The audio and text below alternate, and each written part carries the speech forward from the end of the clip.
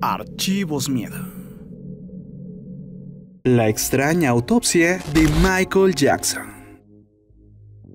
Michael Jackson murió a los 50 años el 25 de junio del año 2009 a causa de un paro cardíaco provocado por una sobredosis de propofol, un potente calmante. Por lo extraño de la muerte, al momento del suceso se le hizo una autopsia. La autopsia es un estudio detallado a los órganos, tejidos y huesos de un cadáver para averiguar todos los detalles e investigar bien la causa de muerte. Es así que ya han pasado más de 10 años del fallecimiento de Michael Jackson. Increíblemente, hasta la actualidad, continúan saliendo más detalles sobre su deceso. Y es que una fuente cercana al rey del pop mantuvo una entrevista con The Sun, un medio muy importante, donde se reveló datos escalofriantes y desconocidos de la autopsia. Y es que se reveló, por ejemplo, que el cantante tenía pastillas disueltas en el estómago, además de que únicamente hacía una comida al día. Por si fuera poco, su cuerpo estaba lleno de cicatrices, debido a las inyecciones que recibía a diario por parte de su médico de cabecera, Conrad Murray. Uno de los detalles que levantó más interrogantes fue que le encontraron golpes en sus rodillas, además que tenía unos misteriosos cortes en la espalda. Sí, Michael Jackson tenía el cuerpo devastado por las cirugías estéticas, por los medicamentos recetados y por una aparente batalla contra la anorexia.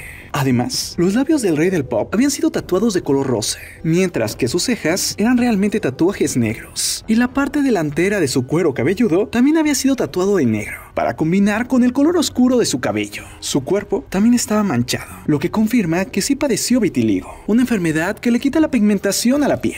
Pero lo más inquietante es que se descubrió que su gran melena, la cual llegaba hasta los hombros, era solo una peluca pegada a su cabeza, ya que realmente Michael Jackson era calvo.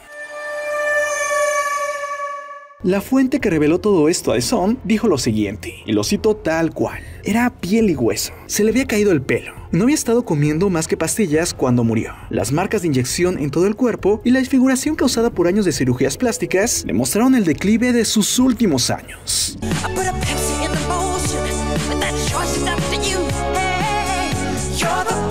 Se cree que Jackson comenzó a usar pelucas tras sufrir quemaduras de segundo y tercer grado durante la filmación de un comercial de Pepsi en 1984. Y es que en este comercial, él tenía que bajar un corto tramo por unas escaleras mientras se lanzaban fuegos artificiales a su alrededor. Pero un problema técnico provocó que fuego cayera en el rostro de Jackson, sobre todo en su pelo, quien terminó con varias heridas muy graves.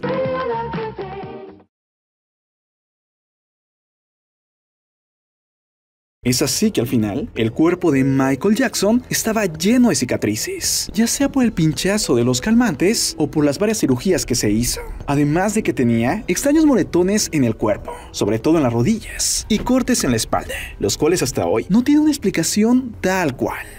Ahora bien, el medio de comunicación también compartió algunas imágenes del dormitorio en el que pasaba sus noches el legendario cantante y bailarín, donde se ven medicamentos, agujas, pomas pegados en las paredes y una muñeca de aspecto siniestro, la cual era realmente perturbadora. Sí, de esta manera la leyenda que fue llamada el rey del pop sigue envuelto en misterio, donde toda su vida fue caótica, incluso también su muerte.